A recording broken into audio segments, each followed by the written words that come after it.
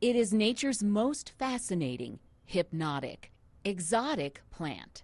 The orchid, the queen of all flowers, with an endlessly alluring variety of blooms.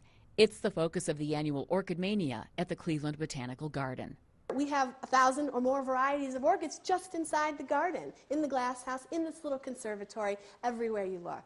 Purple Rain is the theme of this year's show. Cynthia Druckenbrode says it's a wink and a nod to the orchid's regal history and a display fit for a prince, a psychedelic array of color and scents. Most of these are super sweet. Some of them are peppery, some of them are citrusy, some of them don't smell so great, but they have a fragrance nevertheless. You have one that doesn't smell so great. What is that? There's one called Doggy Dew, and it's in the glass house, and that one smells just like it sounds.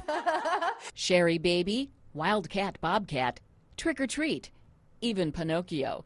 Many varieties were named with a sense of humor, but whatever they're called, they're the ultimate floral fantasy. The exotic orchid has been revered throughout history. In fact, it is the oldest flower on Earth, going back to the time of the dinosaurs. Orchid Mania will transport you to a place far from the snow and ice, a place of waterfalls, tropical greenery, and dreamlike flowers.